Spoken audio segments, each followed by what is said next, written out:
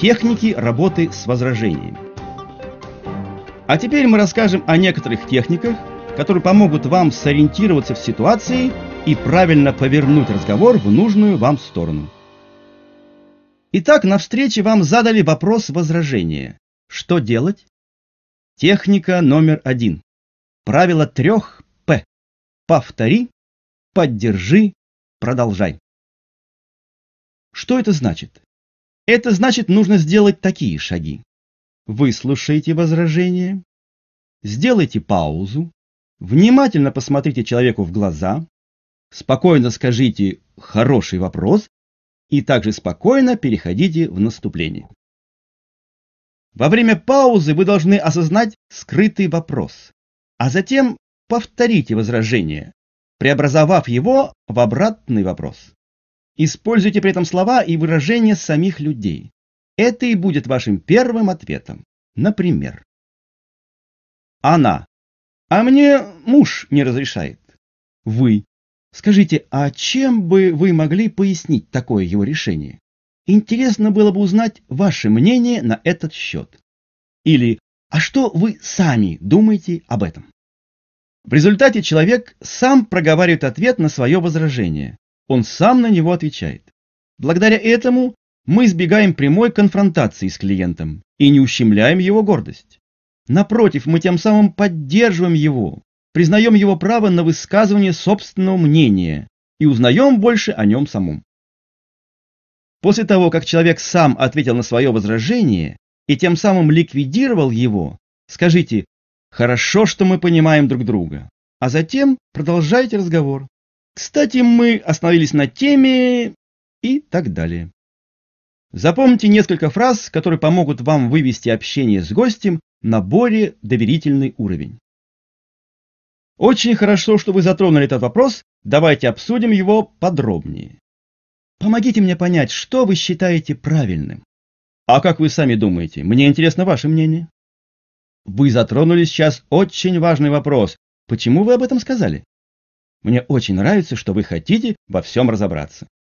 Я вас прекрасно понимаю. Каждому человеку хочется сделать правильный выбор.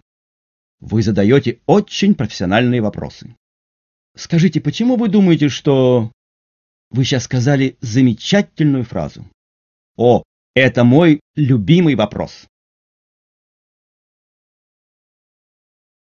А теперь в данном месте урока нажмите паузу и проговорите эти фразы вслух. Послушайте эти фразы внимательно. Достаточно ли искренне вы их говорите? Не фальшивите? Почему важно быть искренним? Потому что, используя такие выражения, вы психологически присоединяетесь к оппоненту, выстраивая таким образом дружеский, интересный вам обоим разговор. Будьте при этом эмоциональны, ведь 80% восприятия зависит от того, как мы говорим. Люди сначала чувствуют наш настрой и уже потом добираются до смысла сказанного. Не зря говорится эмоции – это транспорт наших слов. Техника номер два. Правило «да» и... Техника состоит в том, что вы переводите возражение из негативного разряда в позитивный. Например, он. Я уже работал в одной сетевой компании, и у меня ничего не получилось. Вы. Да, и теперь вы понимаете, что выбирая компанию, всегда необходимо проанализировать несколько главных вещей. Продукт, маркетинг-план и перспективы компании. Другой пример. Он. Мой сосед уже работал в одной сетевой компании и прогорел. Вы. Да, и я вам скажу, что очень важно, выбирая компанию, проанализировать несколько главных вещей. Продукт, маркетинг-план и перспективы компании. Техника номер три. Озвучьте возражение сами. Иногда вы можете проговаривать возражение сами, опередив собеседника. Это означает, что вы умеете видеть те вопросы, которые не озвучены оппонентом, но беспокоят его в данный момент. Например, скажите гостю так. Мне иногда приходится слышать, в ваш бизнес нужно вкладывать деньги. И поэтому я хочу сразу показать, как в нашем деле деньги работают на вас. Давайте обратим внимание на слово «вкладывать». К таким типовым возражениям, которые можно озвучить, сразу же предложив на них ответ, относятся и такие. Зачем мне это нужно? Это действительно решение моих проблем? Получится ли у меня? И другие. Знайте, что эти вопросы присутствуют всегда, даже если вы их от собеседника не слышите. Техника номер 4. Имитация отказа от клиента. Эта техника заставит встряхнуться такого гостя, который явно выказывает вам свое пренебрежение. Она особенно хороша, если с таким человеком никак не получается наладить контакт. Мы искренне рассказываем ему о тех возможностях, которые способны изменить его жизнь в лучшую сторону, а он сидит, развалившись на стуле, нога на ногу, лениво наблюдает, как мы перед ним танцуем. Учитесь отличать истинный интерес от бессмысленного перемалывания воздуха. Различайте этот тип людей и смело действуйте по одной из следующих схем. Встряска через легкий шок. В этой технике порой рекомендуется даже жесткость. Обычно это происходит на распутье, когда мы решаем, будем мы продолжать встречу или нет, и резким ответом встряхиваем гостя. Это могут быть резкие слова такого типа. «Я тут не играю в игрушки». Действительно, может быть это вам и не нужно. Зачем людям успех, деньги, свобода? У меня что, на лбу написано «идиот»? Я могу точно гарантировать, что если ничего не будешь делать, ничего и не получишь. А есть гарантия в том, что работая на хозяина, вы в конце месяца получите зарплату. Вы думаете, я тут время теряю? Посмотрите на реакцию. Если вы действовали правильно, то гость обычно меняет отношение к происходящему на серьезное, деловое. Он даже меняет позу. Достойное прощание. Будьте внутренне свободными и умейте отпускать человека, не держать его на привязи. Вы не должны никого уговаривать. Наш бизнес – это бизнес-партнерство, а не уговоров. Поэтому вы можете в любой момент завершить встречу, если чувствуете, что ее продолжение бессмысленно.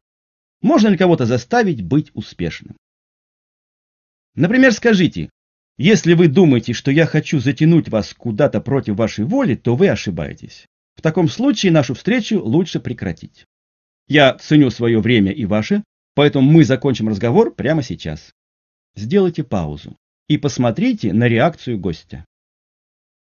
Очень часто такой метод отталкивания, совершенно неожиданно для гостя, действует противоположным способом. Чувствуя, что он может потерять что-то для себя важное, человек начинает притягиваться и интересоваться. Рекомендуем порепетировать разные техники и ситуации со своим бизнес-партнером. Попробуйте себя в разных ролях. Запишите себя на диктофон и прослушайте свой голос. Итак, мы познакомили вас с несколькими часто встречающимися ситуациями и тем, как на них реагировать. Однако не стоит ограничиваться заучиванием формулировок вопросов и ответов, потому что есть риск, услышав вопрос в другой формулировке, не суметь его распознать и ответить правильно. Учитесь в каждом возражении видеть то, что на самом деле интересует гостя. Это словно маяк, который указывает, в какую сторону повернуть разговор. Вопрос показывает, что сейчас важно, что надо обсудить подробнее. Так человек, говорящий «у меня нет времени», на самом деле просит показать ему ценность времени в вашем бизнесе. Покажите ему возможность реальной отдачи, которую он будет получать от времени, вложенного в ваш бизнес. Это будет лучшим ответом на его скрытый вопрос. Практикуясь таким образом, вы научитесь строить разговор так, что будете предупреждать вопросы собеседника заблаговременно. То есть ваша речь просто не будет давать гостю повода задавать лишние вопросы. Это качество отличает профессионалов от новичков.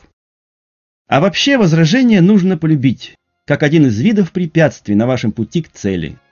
Благословенны препятствия, мы растем ими, так говорит лидер. Вырабатывайте в себе подобное лидерское отношение к возражениям, и это позволит вам повышать уровень и качество встреч. Если человек отказывает вам, это еще не повод отказаться от него. Нужно просто умело продолжить беседу. Как? Разговор об этом в следующем уроке на тему возражения.